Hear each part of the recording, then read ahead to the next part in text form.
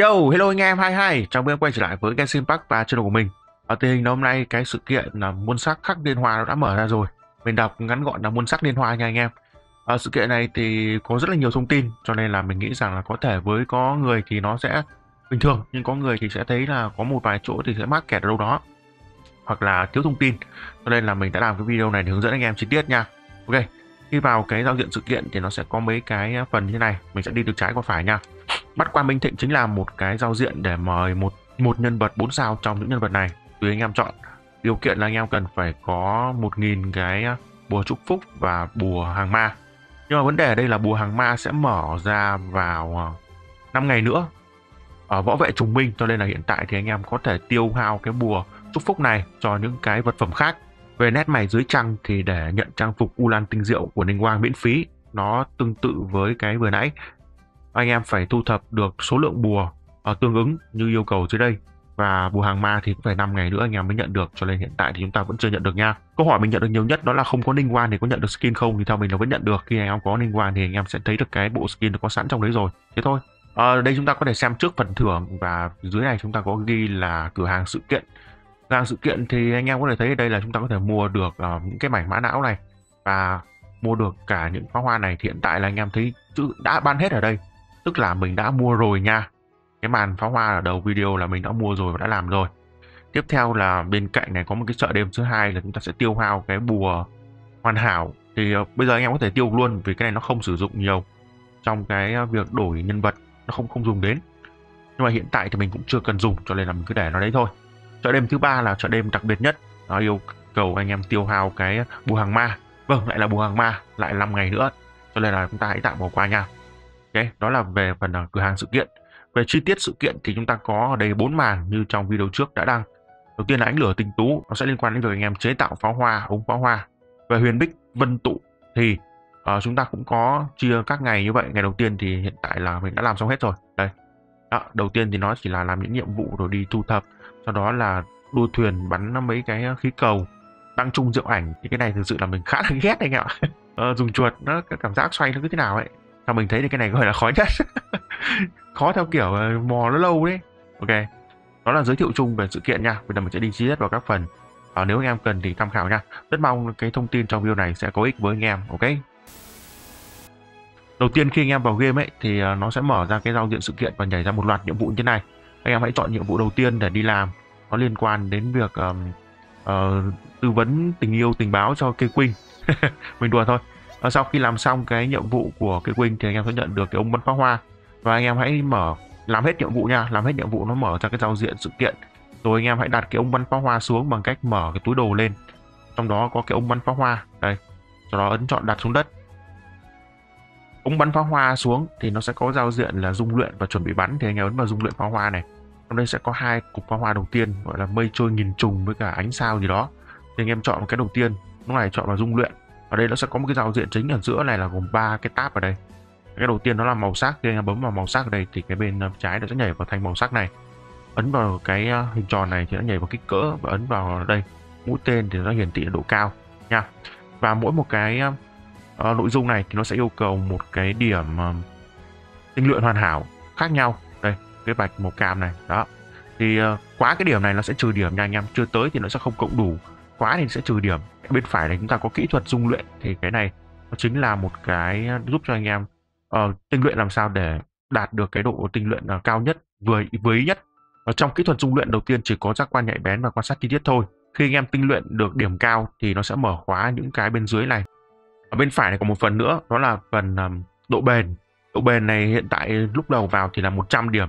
Khi mà anh em nâng điểm lên ấy, thì nó sẽ tăng cái phần độ bền này lên. Hiện tại là 120 độ bền này có nghĩa là khi mà anh em bấm vào dung luyện này này thì nó sẽ tiêu hao độ bền đi tức là anh em không thể dung luyện mãi được. Ờ, nó sẽ giới hạn số lần thôi. Ờ, về cơ bản là như vậy. Anh em phải sử dụng ờ, tinh luyện làm sao trong một số lần ờ, nhất định mà đạt được cái uh, điểm cao nhất. Ví dụ đầu tiên mình sẽ chọn là quan sát chi tiết này. Cái này tùy uh, trường hợp thôi anh em không phải lúc nào cũng giống nhau. Đó thì nó sẽ nhảy đến đoạn này đúng không? Và mình thấy nếu như mình dùng quan sát chi tiết nữa thì nó sẽ nhảy quá mất thì mình sẽ dùng giác quan nhạy bén thôi cho tăng nhẹ thôi tấn phát nữa. Đó là nó vừa vào cái đúng đúng độ rồi này là một nghìn điểm.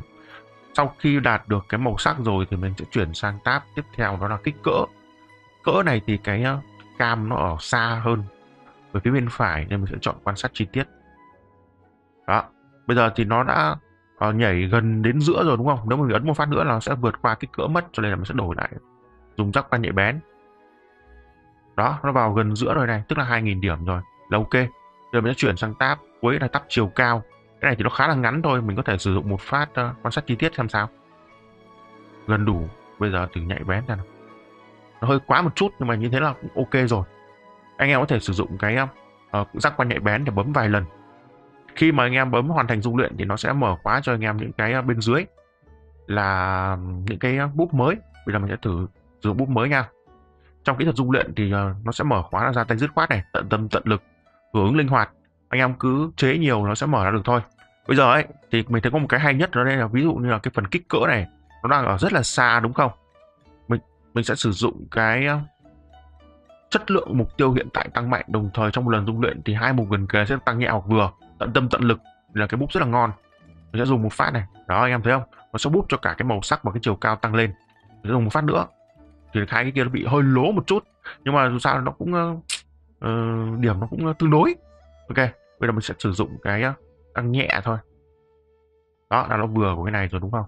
Giờ mình sử dụng cái chiều cao bấm nhẹ một cái. Nó hơi quá một chút cho vẫn được 2.800 điểm tức là nhận được thưởng rồi. Cái này thì nói chung là phải lựa cơ gấp mắm thôi anh em phải tinh chỉnh làm sao cho nó hợp lý là được. Độ bền vẫn còn. À, các cái mục này thì cũng tương đối rồi. Để nhận được nguyên thạch và điểm tiền như thế là ok rồi nha anh em bấm vào hoàn dung ờ, luyện này đó thế là xong ok chúc anh em thành công nha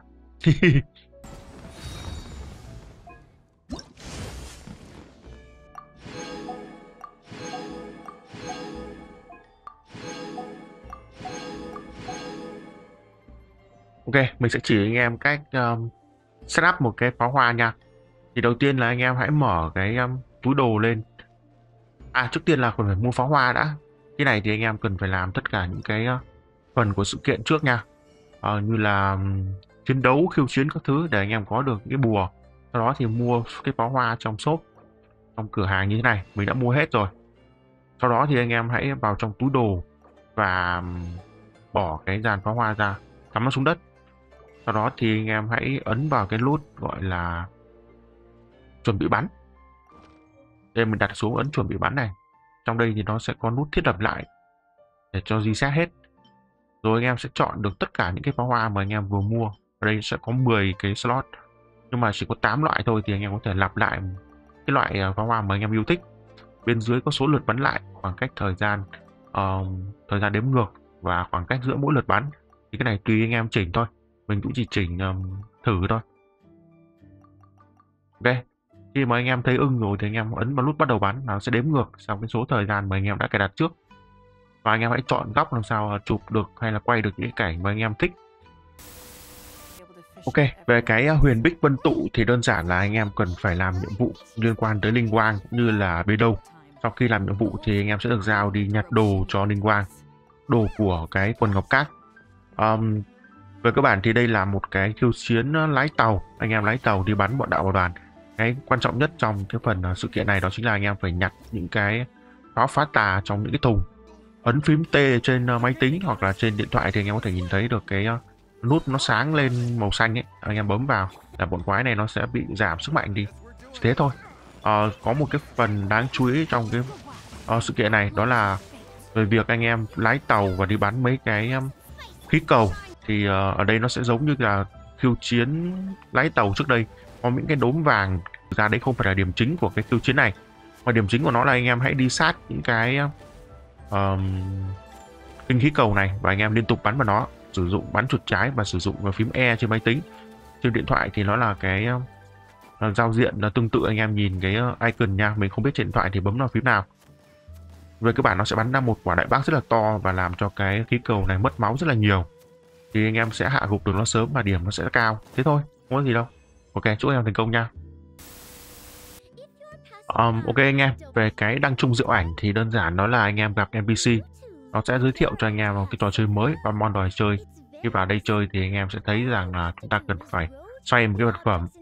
Um, theo mình ấy thì cách hay nhất để chơi đó là hãy xem hình ảnh của cái ngày hôm đó là gì.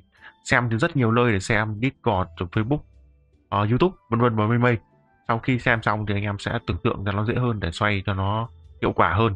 Còn mình thì thực sự là mình xoay hoài mãi nó mới ra mình không có thấy là mình có điểm mạnh trong cái việc giải đố hình ảnh này anh ạ. Ở trong lúc xoay thì ở có cái gợi ý đáp án nó bên dưới ấy nó có một cái vạch trắng. Khi anh em xoay gần đúng thì nó sẽ sáng lên nhưng thực sự thì mình thấy nó không giúp ích được quá nhiều. Uh, đấy là bản thân mình thôi. Còn nói chung là khó dễ tùy người. Uh, hy vọng là anh em sẽ không gặp khó trong cái giải đố này. Uh, chúc anh em thành công nha. Ok à, về ờ, hình ảnh của ngày hôm nay đó là cái lư hương cái ờ, thuyền và một cái diều à, ok khi làm xong thì anh em sẽ nhận được nguyên thạch như thế này rồi và chúc anh em thành công nha Ok, đây là video hướng dẫn chi tiết về sự kiện là muôn sắc liên hoa, à, cụ thể là về phần là bắn pháo hoa cũng như là chế tạo pháo hoa. À, một số cái phần khác nếu như anh em có thấy khúc mắc gì thì anh em hãy để lại bình luận nha. Mình sẽ làm video gửi đến anh em sau. À, cảm ơn anh em đã xem video và chúc mọi người cho sự kiện thành công nha. Hẹn gặp lại anh em trong những ờ, video sau. Hãy ủng hộ mình bằng cách đăng ký kênh nha. Bye bye anh em.